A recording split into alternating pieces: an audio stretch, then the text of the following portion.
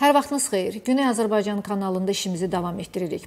Beləliklə Azərbaycan Qranada görüşündən imtina etdi. BMT müşahidə missiyası ilk hesabatını verdi. Almaniyanın politika nəşri yazır ki, Qərb Rusiya ilə Qarabağla bağlı gizli danışıqlar aparıb. Paşinyanın etnik təmizləmə ittihamı nəyə hesablanıb? Roma statutu, statutu İrəvanda qəbul edilsə də Paşinyan deyir ki, bu Rusiya qarşı deyil. Biz bu gün bu mövzularda danışacağıq. Mənim qonağım İsveçrədən siyasi təhlilçi Surxan Lətifovdur. Surxan bəy, mən sizi salamlayıram və bizə vaxt ayırdığınız üçün sizə təşəkkürümü bildirirəm. Öncə elə o girişdə də dediyim kimi birinci məsələdən başlayaq ki, e, oktyabrın 5-də Qranadada bir görüş keçirilməli idi 5-lik e, çərçivəsində. Lakin e, bu gün məlum oldu ki, Azərbaycan prezidenti Qranadaya getməkdən imtina edib və bunu səbəb olaraq da həmin görüşdə iştirak edən tərəflərin anti-Azərbaycan əhval-ruhiyyədə olduğunu göstərib və belə bir əhval-ruhiyyədə olan e, bir toplantıda iştirak etməyini lüzumsuz sayıb. Halbuki e, Qarabağ məsələsi artıq bitib, müzakirə predmeti deyil, nə beşlik görüşdə, nə üçlər güclük görüşündə, yəni heç bir səviyyədə.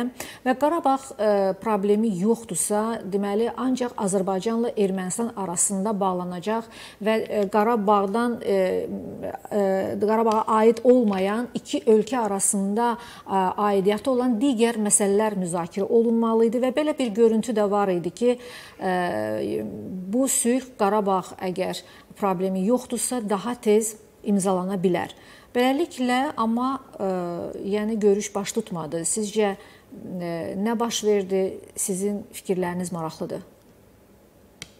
Salam, mən də sizi və bütün tamaşaçılarımızı salamlayıram.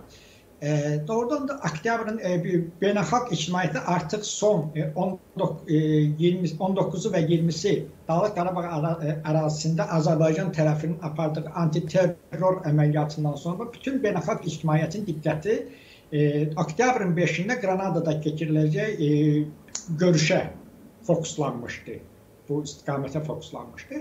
Amma e, son e, E, təbii ki, Azərbaycan tərəfi e, bu siz də qeyd etdiyiniz kimi Azərbaycan tərəfi bu görüşdən e, bir tərəfli şəkildə imtina etdi. Və görünür burada e, e, gündəlikdə həmin müzakirənin gündəlikdə Azərbaycan tərəfinin bu görüşdən iştirak etməsində müəyyən e, görünür səbəblər var. Ümumiyyətlə diplomatiya belə bir şeydir ki, o e, hər hansı bir bir və yaxud iki görüşdə hər hansı bir qarşıya qoyulmuş məqsədlərə nail olmaq mümkün deyil. Bəs diplomatiyada ondan ötürüdür ki, tərəflər arasında müəyyən dövrdə, müəyyən mənada danışıqlar aparılır, qarşılıqlı e, maraqları ortaya qoyulur və e, müəyyən ümumi kompromislər əldə edilir. Və bu təbii ki, bu e, biz tarixdə də görürük ki, tərəflər deyək ki, tarixdə e, müharibə aparan tərəflər e, sonradan diplomatik danışıqlar apararkən bu diplomatik danışıqlar heç də e, belə deyək ki, tam düz xətt üzrə rahat getmir. Burada müəyyən ziqzaqlar da müşahidə olunur və bu o, və bu da normaldır. Yəni e, Azərbaycan tərəfi və yaxud deyək ki, Ermənistan tərəfi bu və ya digər e, formada hər hansı bir görüşdən müəyyən zaman daxilində imtina edirsə, e, deməli burada qeyri əslində burada diplomatik baxımdan qeyri-adi bir şey yoxdur. Və Azərbaycan tərəfinin də bu e, danışıqlardan e, müəyyən mənada bir tərəfli şəkildə imtina etməsi e, görünür e, müəyyən diplomatik çətinliklərlə e, izah olunur. Çünki e, çox güman ki, Azərbaycan e, bu görüşdə müzakirə olunacaq məsələlərinin e, gündəliyindən, agendasından e, müəyyən mənada razı razı deyil ki, bir tərəfli şəkildə imtina edir. Mənə gəlir e, başqa bir izah e, burada yoxdur.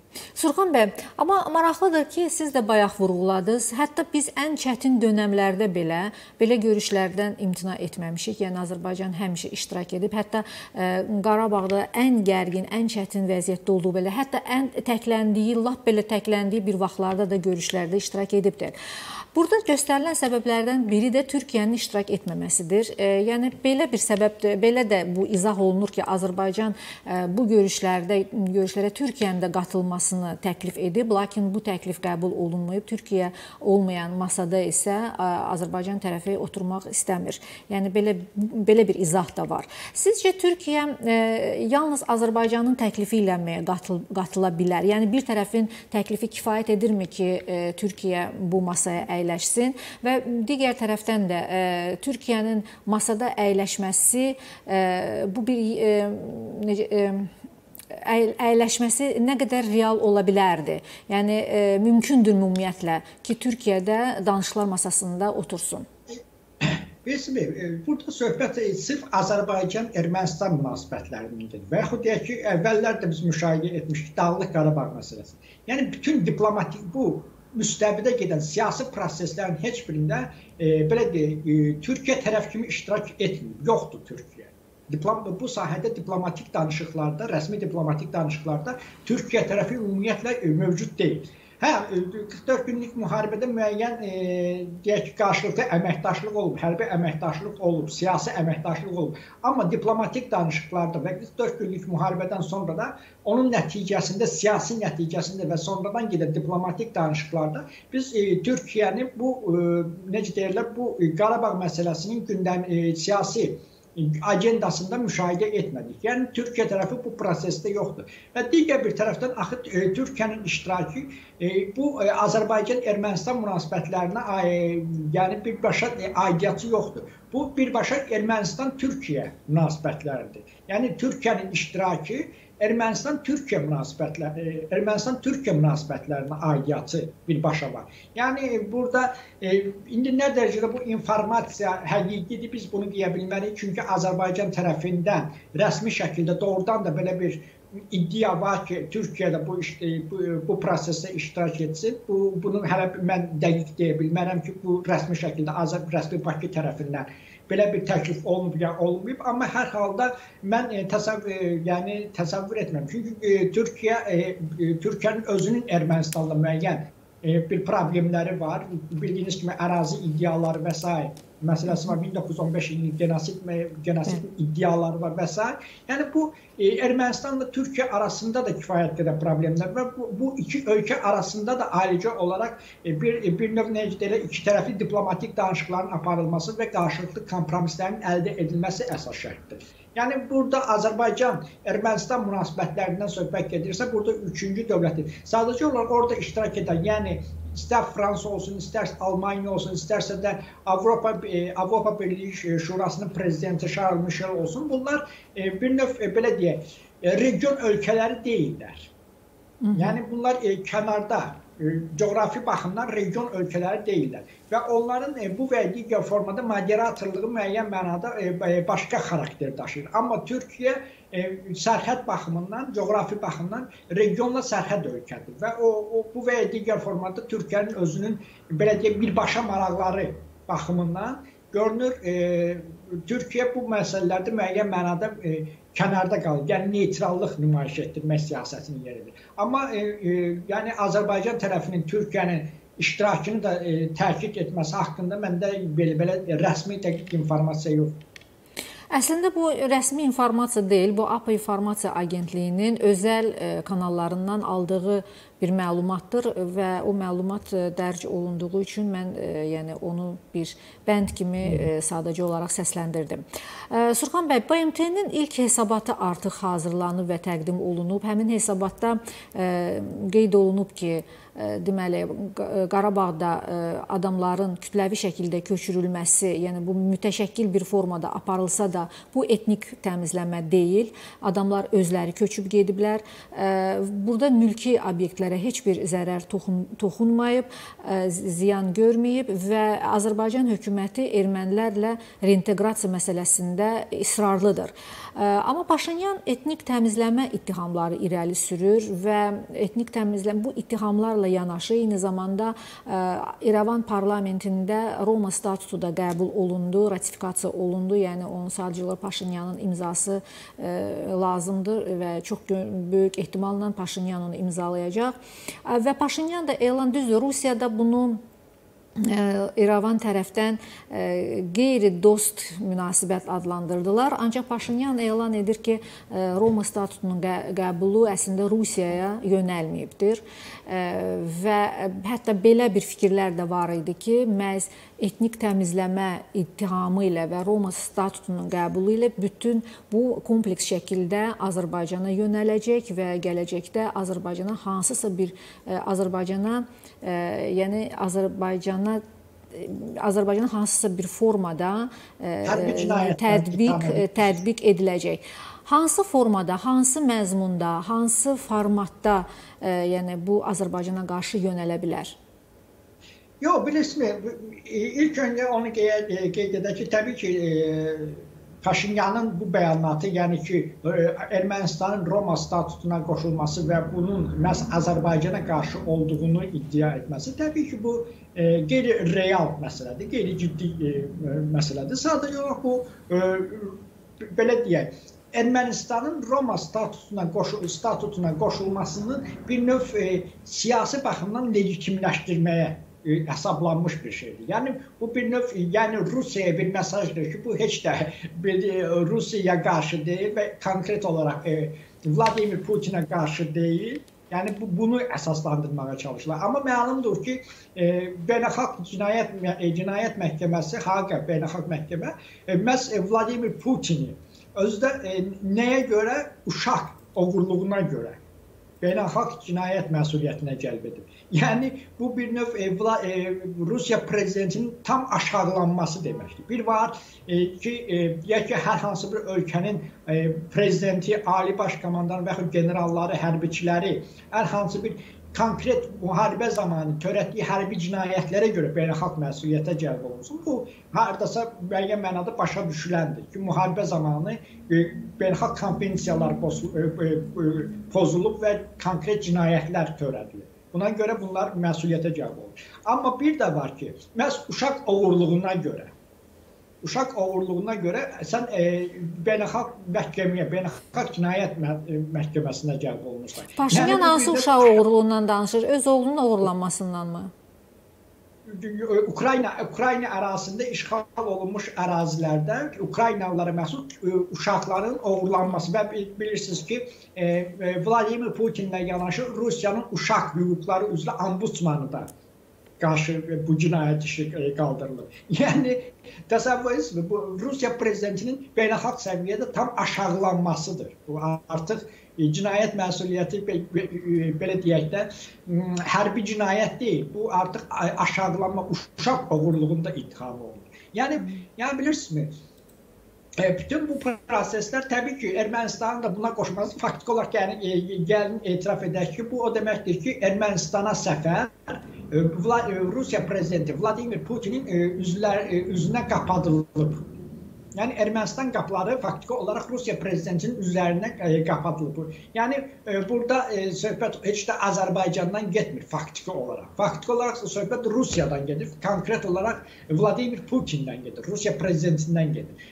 Və təbii ki, Ermənistan bu addımlarını bu və digər formada e, belə deyək izah etməyə, əsaslandırmağa çalışır və Azərbaycanı da bir növ bunlar bir propaganda vasitəsi kimi istifadə edir. Amma əslində isə burada söhbət Azərbaycandan deyil, məhz e, hamı çox gözəl başa düşür ki, söhbət Rusiyadan gedir və e, Peskovun da verdiyi bəyanat və e, bu düşmən münasibət adlandırması, yəni Ermənistanın E, Roma statutunu e, ratifikasiya etdikdə etməsi ilə əlaqədar olan bunun düşmən münasibət adlandırması təsadüf deyil. Yəni Rusiya özü də çox gözəl başa düşür ki, bu heç də Azərbaycana e, Ermənistan parlamenti tərəfindən ratifikasiya olunan bu qanun, Roma statusu heç də Azərbaycana qarşı deyil, bəs Rusiyaya qarşı, konkret olaraq Vladimir Putinə qarşı olan bir aksiyadır. Ona görə də e, Rusiya tərəfi bundan hiddətlənib və bu da təbii ki, Rusiya e, e, Ermənistan münasibətlərinə çox böyük artıq mənfi təsir göstərir. Mən və, aha Ermənistan Rusiya məsələlərini ümumiyyətlə Rusiyanın Qafqaz ə, siyasətinə toxunacağam, amma bir sualım da var ki, Paşinyanın ə, etnik təmizləmə iddiası və Qarabağdan köçən ermənilərin sayının ifrat dərəcədə şişirdilməsi nəyə hesablanan addımdır? Birincisi, əvvəl onu qeyd edək ki, burada hər hansı bir humanitar fəlakət, yəni e, e, yəni hər hansı bir hərbi əməliyyat aparılırsa, təbii ki, o ərazilərdə dinc sakinlər bu və digər formada o əraziləri tərk edir. Bu hər, hər yerdə belədir. Yəni bu yalnız Dağlıq Qarabağa aid olan məsələ deyil axı. Bu əgər e, fikir versək görərik ki, e, dünyanın hər hansı bir regionunda müharibə və yaxud hər hansı bir hərbi konfliktlər baş verirsə, orada istər-istəməz mülki əhali həmin tək, öz təhlükəsizliyi təmin etmək üçün həmin əraziləri könüllü şəkildə tərk etdilər. Amma bu Və, dəfə e, Qarabağdan köçən ermənilər demək olar ki, əməliyyat bitəndən sonra köçdülər. Yəni nə əməliyyat öncəsi təhlükəsizlik baxımından, nə də əməliyyat zamanı təhlükəsizlik və, baxımından. Və bu psixoloji bir faktordur və BMT-nin BMT nümayəndə nümayəndə heyətin BMT-nin müşahidə missiyasının da hesabatında o ayrıca qeyd olunmuş bu bir psixoloji bir hərəkatdır. Yəni psixoloji olaraq, psixoloji olaraq Bəli, insanlar insan elə, qorxublar. Bəli, me mexanikidir bu. Yəni burada e, ya Azərbaycanın e, heç bir təqsiri yoxdur. Çünki Azərbaycanın öz ərazisində e, konkret terrora qarşı mübarizə, terror qeyri-qanuni silahlı qüvvələrin neytrallaşdırılması, zərərsizləşdirilməsi üçün e, real addımlar atır. Hərbi və bu da təbii ki, hərbi addımlardır və, və burada e, təbii ki, e, mülki əhali bir faktor olaraq bütün dünyanın hər yerində belədir ki, insandırsa o öz təhlükəsizliyini ilk növbədə təmin edilməsi qayğısına və bu baxımdan da e, təbii ki, ermənilər o əraziləri artıq necə deyirlər, tərk edirlər. Digər bir tərəfdən axı nəzərə almaq lazımdır ki, e, Ermənistandakı o separatçı qüvvələr faktiki olaraq e, iflasa uğradı. Yəni separatçı struktur, separatçı rejim faktiki olaraq e, hərbi və siyasi baxımdan iflasa uğradı, sübut etdi. Və bundan sonra artıq ermənilərin o Dağlıq Qarabağ ərazisində yaşayan ermənilərin e, əksəriyyətin o beyninə doldurulmuş 10 illiklərlə beyninə doldurulmuş artsaq ideologiyası faktiki olaraq iflasa uğradı uğradı. Və məhz buna bu faktor da öz təsirini təbii ki göstərdi. Dünyanın aparıcı ölkələrinin heç biri, hətta Amerika Birləşmiş Ştatları Dövlət Departamentinin e, nümayəndəsi Miller e, mətbuat konfransında da e, qeyd etdik ki, biz Azərbaycanı hər hansı bir etnik təmizləmədə və yaxud deyək ki, e, Azərbaycanın Dağlıq Qarabağda yaşayan ermənilərə qarşı genosid siyasətində ittiham edə bilmərik. Yəni dünyanın aparıcı ölkələri də faktiki olaraq bəli, qəbul etiraf elədilər, bəli.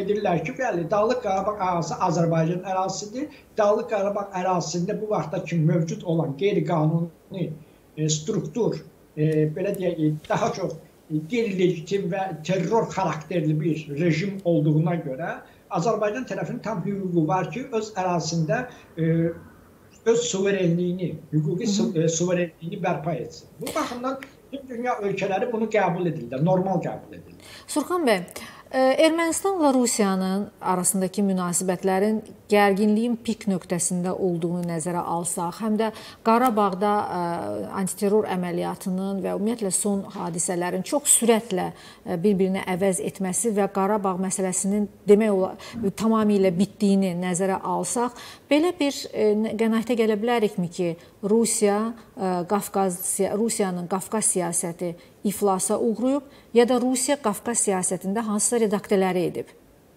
Siz hansının e, üzərində dayanırsınız?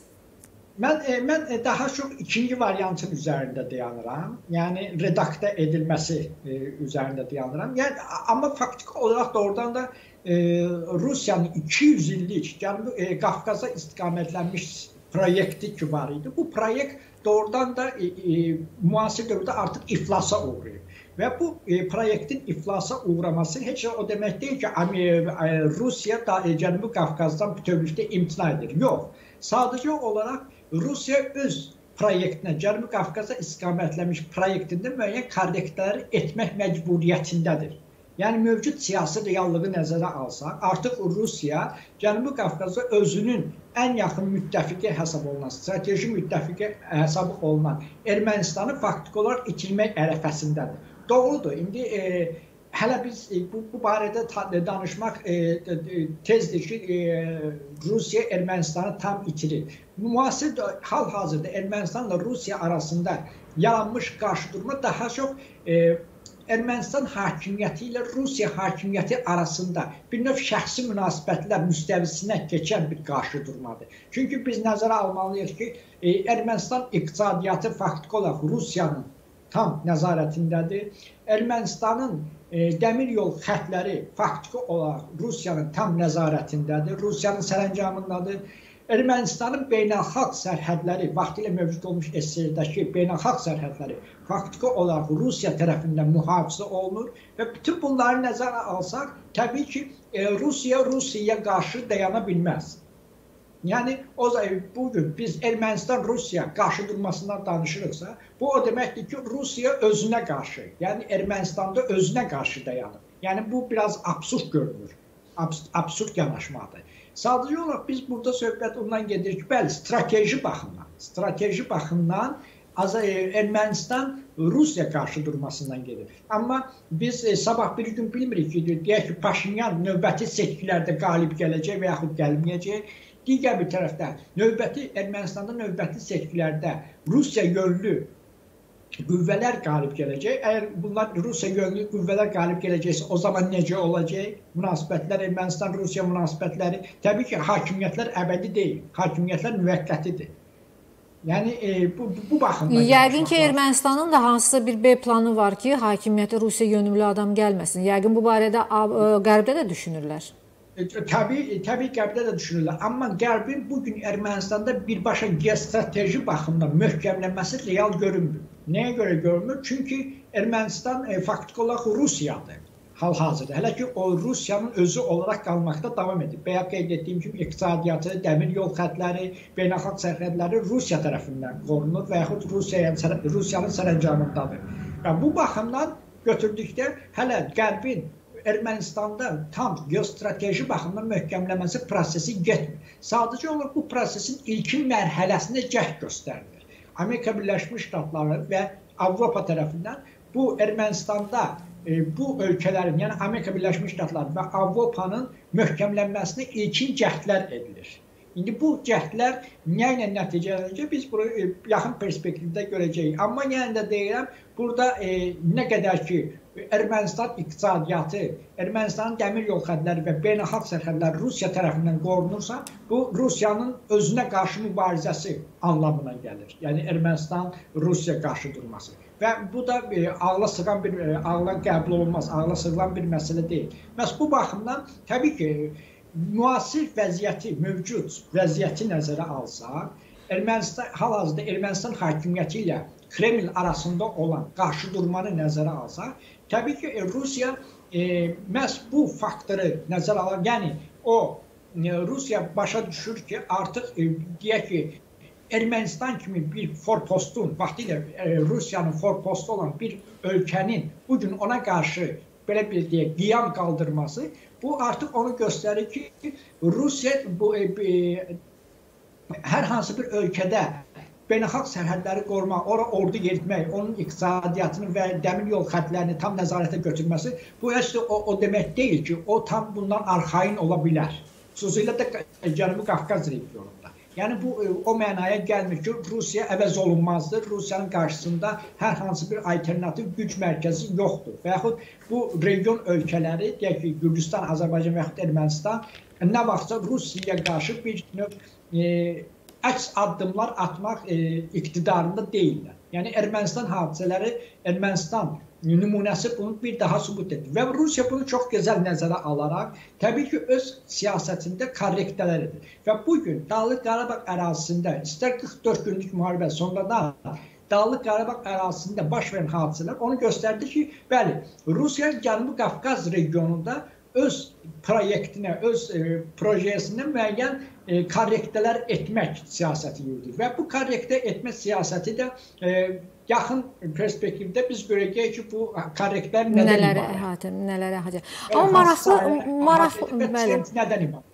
Maraqlı bir fikir də var ki, ə, ümumiyyətlə Qarabağdan köçən ermənilərin kütləvi köçünü təşkil etməklə əslində bu Rusiyaya qarşı yönəlik bir məsələdir ki, Qarabağda ə, erməni yoxdursa, Rusiyada olmamalıdır. Yəni kimi müdafiə edəcək, kimi qoruyacaq? Yəni bu Rusiyanın daha doğrusu Qarabağdan çıxmasına yönəlik bir akt akt olduğunu söyləyənlər də var. Baxın sizin bu daha məntiqli görünmürmü? Siz necə düşünürsüz? Bu ilk baxışda ilk baxışda məntiq məntiqi yanaşmadır. Yəni əgər Dağlıq Qarabağda e, erməni, erməni yaşamırsa və Dağlıq və Qarabağ problem də yoxdur. Yəni, yəni problem də yoxdur. Hansısa bir həll olunası məsələ də yoxdur və və e, sülh məramlı o e, Rusiya sülh məramlı qüvvələri kimi kimdən qoruyacaq? Bəli. Yəni belə bir şey, belə bir məsələ yox olmadığına görə Dağlıq Qarabağ arasında o Rusiyanın sülh məramlı qüvvələrinin qalması məsələsi sol altına alır. Amma artıq biz burada Rusiyanın e, belə deyək, Azərbaycanda e, hərbi iştirakı məsələsi. Yəni Rusiya silahlı qüvvələrinin bu və ya digər statusda Azərbaycanda qalması məsələsi, onların mandatı məsələsi, bu artıq Dağlıq Qarabağ məsələsi deyil, birbaşa Azərbaycan-Rusiya münasibətləri məsələsini ön plana çıxarır. Yəni burada Rusiyanın Azərbaycanda hansı formada iştirak edəcəyi və yaxud etməyəcəyi gələcəkdə etməyəcəyi, mövcud olmayacaq. Bu artıq birbaşa rəsmi Bakı, Moskva Bəli, bunu Peskov da bildirmişdi, bəli. Ki bu münasibətlərdən asılı olacaq. Azərbaycan-Rusiya münasibətləri. Yəni artıq Azərbaycan-Rusiya münasibətlərində deyək ki, Azərbaycanın e, Rusiyanın Azərbaycanda bu və ya hər hansı bir formada hərbi iştirakı artıq Dağlıq Qarabağ münasibəti, Dağlıq Qarabağ e, problemi çərçivəsindən çıxır, bəli, bəli. Bu çərçivə artıq yoxdur. Bəli. Deməli, bu münasibətlər artıq iki tərəfli münasibətlərə əsaslanacaq. Azərbaycan və Rusiya münasibətləri. Və bu münasibətlər hansı prinsiplərə əsaslanacaq? Çünki Azərbaycanın əli, Azərbaycan bir növ e, e, Dağlıq Qarabağ konflikti mövcud olanda Rusiya Azərbaycana bundan bir təsir vasitəsi kimi istifadə edir. Artıq Rusiyanın bu belə bir təsir vasitəsi, belə bir Azərbaycana qarşı belə bir instrumenti yoxdur. Yəni çox maraqlıdır ki, Rusiya özü bundan imtina etdi. Və Bəli. bu belə bir məsələ və biz e, gəl açıq danışaq. Belə bir sual ortaya çıxarır ki, e, Rusiyanın bu addımları e, belə bir sual ortaya çıxarır ki, Rusiya nə dərəcədə özünün strateji maraqlarını idarə etmək qabiliyyətinə malikdir. Yəni doğrudanmı Rusiya dünyanın bu və ya digər regionda, xüsusilə də postsovet məkanında artıq strateji maraqlarını idarə edə bilmir. Bu idarəçiliyi itirib. Yəni bu sualı ortaya e, ortaya e, qoyur, gündəmə, gündəmə gətirir. Yəni bu baxımdan e, biz təbii ki, yaxın perspektivdə də görəcəyik ki, Azərbaycanla Rusiya münasibətləri yeni keyfiyyətli, yeni mərhələyə qədəm qoyacaq və bu münasibətlər çox güman ki, qarşılıqlı faydalı əməkdaşlıq prinsipinə. Artıq Rusiyanın əlində elə bir e, rıçaq Azərbaycana təsir etmə imkanı yoxdur. Qalır yeganə e, rıçaq vasitəsi Ermənistan-Azərbaycan danışıqları. Bəli. Hə, yəni bəli. burada artıq Rusiya e, çalışacaq ki, yenidən burada moderatorluğu öz təşəbbüsünü ələ, ələ, ələ keçirsin və e, bu vasitə ilə tərəflərə deyək ki, e, istər Ermənistana, istərsə də Azərbaycana yeni bir təsir instrumenti əldə etsin. İndi bu buna nə dərəcədə nail olacaq? Biz bunu e, artıq e, bir yaxın perspektivdə görəcəyik. Surxan bəy, mən bir məsələyə də toxunmaq istəyirəm. Deməli, Almaniyanın politika nəşrinin bir məqaləsi yayılıb. Həmin məqalədə deyilir ki, ABŞ-ın və mən sizinlə söhbət edəndə bir neçə gün bundan əvvəl siz orada bir məsələyə toxunmuşdunuz və o məsələ də elə bu məqalədə də işıqlandırılıb. Mən istəyərdim ki, o məqalədən bir bir iki iqtibas gətirim və biz sonra bu məqalə üzərində müzakirəmizi davam edək.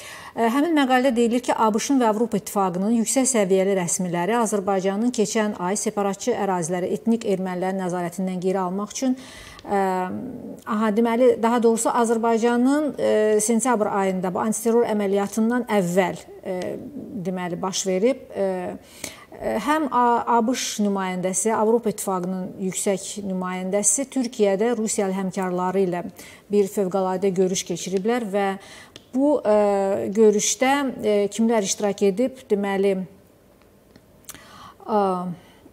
bir dəqiqə, e, deməli Louis Bono, Bono Avropa İttifaqı üzrə Tovia Klari və Rusiyadan isə Igor Xavayev e, iştirak ediblər. Düzdür, burada birinci diqqəti çəkən məqam odur ki, yəni bu görüş e, geniş yayılmayıb, yəni açıq şəkildə mətbuatda nəşr olunmayıb, sadəcə onun detalları sızdırılıb mətbuata. Amma diqqət çəkən məqam odur ki, Hətta Rusiya prezidenti yəni Rusiyanın Ukraynanı işğal etməsindən sonra Moskva və Qərb arasında böyük təhlükəsizlik problemi ilə bağlı bu nadir bir əlamət sayılıb bu təmas. Və nəşr qeyd edir ki, sentyabrın 17-sində İstanbulda anklavın, yəni Qarabağın 9 aylı blokadasına son qoyulması və Ermənistandan gələn humanitar yardım karvanı icazə verilməsi üçün Azərbaycana təzyiq cəhdləri çərçivəsində baş tutub. Yəni məqalədə həm xronoloji hadisələr təsvir olunur və sonra qeyd olunur ki, politikanın verdiyi açıqlamada bir dəqiqə, bir dəqiqə, bir dəqiqə. Sergey hə, hətta deməli C20 Hindistanda keçirilən C20 toplantısı çərçivəsində belə Anthony Blinken və Rusiyanın Xarici İşlər naziri Sergey Lavrovun orada üz-üzə gəlməyi və danışmaqlarında diqqət çəkilib. Bu mübadilənin düzdür, onlar arasında heç bir danışıqlar aparılmaz, aparılmadıqlarını onlar təkid etsələr də artıq bu da bir əlamət olub, yəni iki dövlət arasında münasibətlərdə və və hətta Avropa İttifaqının rəsmisi də anlaşılmazlıqların qarşısını almaq üçün müvafiq həmsöhbətlərlə əlaqə kanallarının saxlanılmasının vacib olduğunu söyləyib. Yəni Rusiya ilə hər halda hər hansı bir əlaqələrin, kanalların açıq qalmasını qeyd edib. Yəni buna buna ehtiyac var. Və Amerika sözçüsü, Amerika Dövlət Departamentinin sözçüsü bu görüşü şərh etməkdən imtina edərək deyib ki, biz özəl diplomatik müzakirələri şərh etmirik. Baxın siz keçən dəfə vurğuladınız biz verilişdən əvvəl danışanda ki, belə bir e, söhbət olub və e, diplomat o suala cavab verməkdən çəkinib. E, və hə, bununla əlavə bundan da başqa əlavə edib ki, həssas diplomatik mövzuları müzakirə etmək üçün Kremlin hələ də bölgəyə, yəni Cənubi Qafqaza hökm etdiyini nəzərə alaraq al alsaq, bu o deməkdir ki, ruslarla işləyə bilməliyik, çünki onların tərəflərə təsirləri var, xüsusilə də hazırda təhlükəli dövrdə olduğumuz bir vaxtda. Yəni istər deməli bu diqqət çəkən məqamlardan da biri budur. Yəni istər ABŞ, istərsə Avropa İttifaqı çərçivəsində, yəni bu platformalarda Azərbaycan və Ermənistanın sülh imzalamaları düzdür, danışıqlar gedirdi, müəyyən irəliləyişlər olsa da, amma baş tutmurdu. Yəni bir növ dolayısıyla Rusiyanın bura bir maneçilikləri var idi. Yəni bu o demək idi ki, Rusiya mesaj verir ki, siz Cənubi Qafqaz məsələsində sülhü mənimlə birinci növbədə razılaşdırmalısınız. Hətta bu barədə Metyu Millerə Azərbaycanlı jurnalisti sual verəndə o sualdan birbaşa çək çəkinmişdi cavab verməyə. Yəni ki, sual belə qoyulmuşdu. Rusiyanın cavabını verməyə vaxtı çatmayıbmı? Metyu Miller bildirmişdi ki, biz yalnız iki tərəfi tanıyırıq, Azərbaycanı və Ermənistanı. Yəni görürsüz, amma burada deyir ki, hər halda biz Rusiya ilə işləməyi bacarmalıyıq. Düzdür, bütün bu görüşün məqamları tam açıqlanmayıb. Burada hansı razılıqlar əldə olunub, hansı qərarlar olunub, amma məhz bu görüşdə bu görüşdən sonra Azərbaycanda sonuncu antiterror əməliyyatı keçirildi və belə bir məntiqi bir qənaət ortaya qoyur ki, böyük ehtimalla həmin görüşdə məhz bu məsələlər də müzakirə olunub. Yəni Azərbaycana bir mənalı şəkildə yaşıl işıq yandırılıb öz Qarabağ problemini həll edib son nöqtəsini qoyması üçün. Və maraqlıdır ki, siz də bayaq qeyd etdiniz, nə ABŞ, nə Avropa İttifaqı, nə Rusiya bunu etnik təmizləmə adlandırmadı, antiterror əməliyyatı adlandırdı və Mən istəyərdim sizin bu barədə fikrinizi bilim. Yəni bu nə deməkdir? Yekun olaraq belə bir sual. Rusiya hansısa bir razılığa, Rusiya ilə razılığa gəlinmək üçün Rusiya hansı güzəştləri əldə edə bilərdi özü üçün? E, ilk, ilk əvvəlcə ondan başlayaq ki, dövlətlər arasında müharibələr olsa da, dövlətlər arasında ciddi e, siyasi, e, hərbi qarşı durmalar olsa da, bir növ e, biz tarixən də görürük və müasir dövrdə də bu belədir ki, dövlətlər arasında qarşılıqlı e, bir bir növ e, e, belə də kommunikasiyalar mövcud olur. Və bu kommunikasiyalar təbii ki, konflikt dövründə fərqli e, sülh dövründən fərqli olaraq bir növ konspirativ xarakter daşıyır. Yəni bir o qədər də ictimailəşdirilmir. Məsələn, e, adicə bir e, misal nəzərə e, misal göstərək.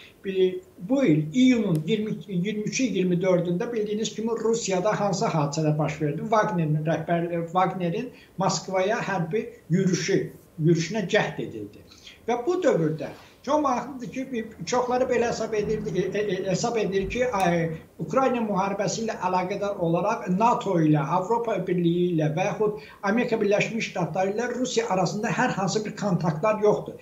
Əslində belə fikirləşmək doğru deyil. Bu, bu, bu siyasətdə belə bir şey olmur. Tərəflər arasında kontaktlar var və həmişə də davam edir. Və bu dövrdə Prigojinin əməliyyatı zamanı NATO baş qərargahı ilə E, e, Rusiya Müdafiə Nazirliyi arasında sıx e, telefon danışıqları, siyasi əlaqələr, yəni qarşılıqlı fikir mübadilələri mübadilələri olur.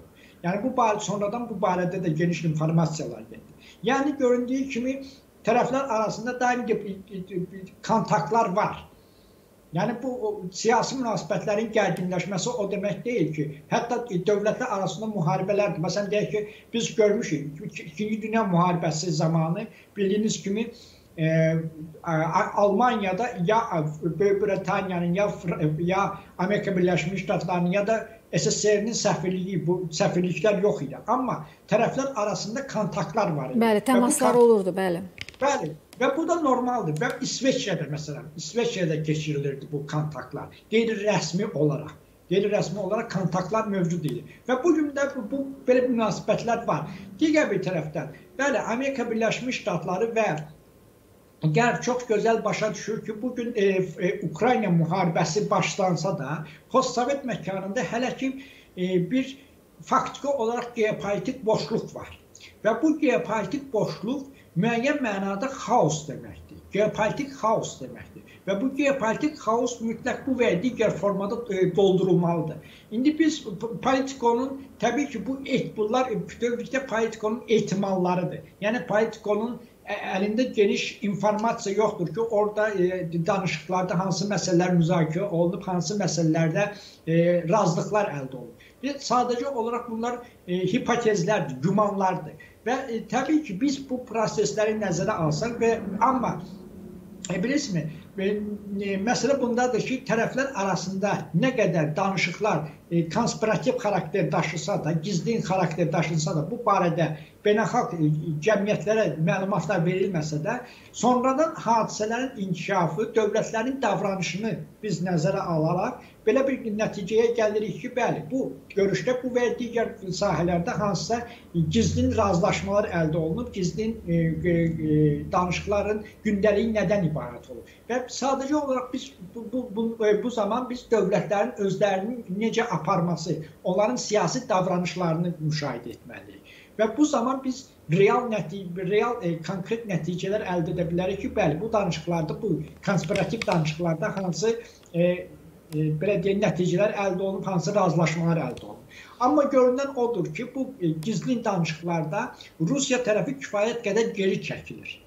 Yəni, bayaq da qeyd etdiyim kimi, doğrudan da Rusiya artıq özünün yaxın xaricdə, yəni postsovet məkanındakı e, maraqlarını, strateji maraqlarını idarə etmək qabiliyyətini itirib. Onun resursları artıq kifayət qədər tükənib. Və təsəvvür edin ki, Rusiya Ukraynada müharibəni davam etdirmək üçün kimə müraciət edir, kimdən asılı vəziyyətə düşüb? Şimali Koreyaya. Bəli.